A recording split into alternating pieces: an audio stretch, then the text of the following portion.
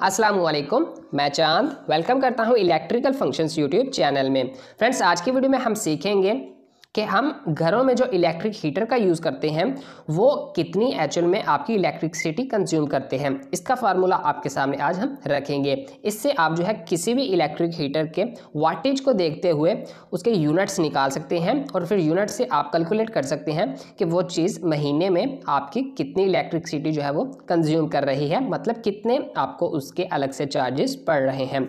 यहाँ पर आप देख सकते हैं, आपके सामने काफ़ी तरह के हीटर्स मौजूद हैं जो कि इलेक्ट्रिक हीटर है। सर्दियों में आपको पता है इसका बहुत ज़्यादा इस्तेमाल होता है।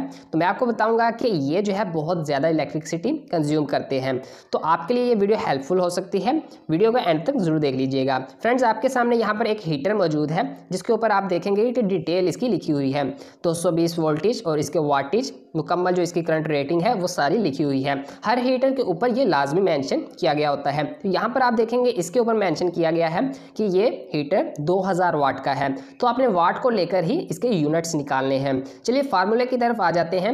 यहाँ पर इसके 2000 वाट थे तो इसी हीटर की हम बात करेंगे कि ये हमारी जो है दिन में कितने यूनिट्स लेगी और फिर इसके हम कैलकुलेट करेंगे कि यूनिट के हिसाब से मंथली इसका बिल क्या बनेगा। फ्रेंड्स यहाँ पर 2000 वाट इसका जो फार्मूला है, वो देख लें किलो वाट हॉर इसका फार्मूला है। तो 2000 वाट को हम तकसीम कर देंगे 1000 पर। जितने भी वाटेज हो, उसको आपने तकसीम करना है 1000 पर। ये इसका फार्मूला है। तो 1000 पर जैसे ही हमने इसको तकसीम किया तो यहाँ पर जो है, दो यूनिट इसके निकल आए। तो मतलब कि ये दो यूनिट जो है, वो खाता है एक घंटे में। अब मान लीजिए कि दो यूनिट ये खा रहा है, आप घर में मैक्सिमम यूज़ करते हैं इसको। पाँच घंटे या आठ घंटे मान के चलो आप आठ घंटे यूज़ करते हैं। तो मैं इसको जो है तकसीम कर दूँगा। इसको मल्टीप्लाई कर दूँगा दो इसके यूनिट को आठ के साथ। तो यहाँ पर जो है इसके सोलह यूनिट निकल आएँगे एक दिन के, यानी कि चौबीस घंटे में आप आठ घंटे इसको यूज़ करते हैं। तो हीटर के जो कुल मिला के एक दिन में आठ घंटे के निकले यूनिट वो सोलह हैं। अब हम इसको तीस से मल्टीप्लाई कर देंगे। तीस दिन हमने इसको यूज़ करना है। महीने में तीस दिन होते हैं। तो इसको मल्टीप्लाई करने से चार सौ अस्सी यूनिट इसके टोटल बन गए। अब 480 यूनिट ये खाता है। अब आपके इलाके में क्या जो है रेट चल रहा है पर यूनिट का तो वो हम देख लेते हैं। तो इसको अब मैं जो है मल्टीप्लाई कर दूँगा। 480 यूनिट्स को तकरीबन आठ मान के चलो, आठ, एक यूनिट आठ रुपए का है। तो इसको हम ये कर देंगे यहाँ पर मल्टीप्लाई तो यहाँ पर आप देखेंगे, तीन तीन हज़ार आठ सौ चालीस रुपये जो है मंथली जो है, इसने कॉस्ट की। तो मतलब कि आपकी बाकी सारी घर की चीज़ें एक साइड पर और इस अकेले इलेक्ट्रिक हीटर ने जो है इतनी अठतीस सौ चालीस रुपये जो है आपकी बिजली को वेस्ट किया।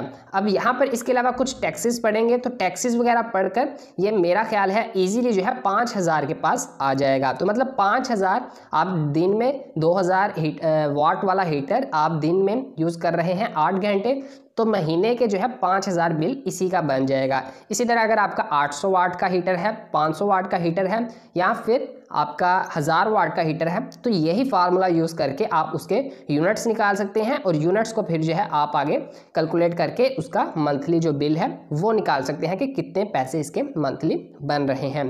तो उम्मीद करता हूँ गाइज़ आपको ये वीडियो पसंद आई होगी। ये फार्मूला है, इसका आप यूज़ कर सकते हैं किसी भी इलेक्ट्रिकल अम्प्लाइसिस में। तो आप उससे मुकम्मल उसका बिल की डिटेल जो है वो जान सकेंगे। वीडियो पसंद आए तो वीडियो को लाइक करें। इलेक्ट्रिकल फ़ंक्शंस यूट्यूब चैनल पर न्यू है तो इसको भी सब्सक्राइब करें ताकि ऐसी ही वीडियोज़ आगे भी आपको मिलती रहे और इससे आप कुछ ना कुछ सीखते रहें। मैं मिलता हूँ आपसे नेक्स्ट वीडियो में। थैंक यू सो मच अल्लाह हाफिज़।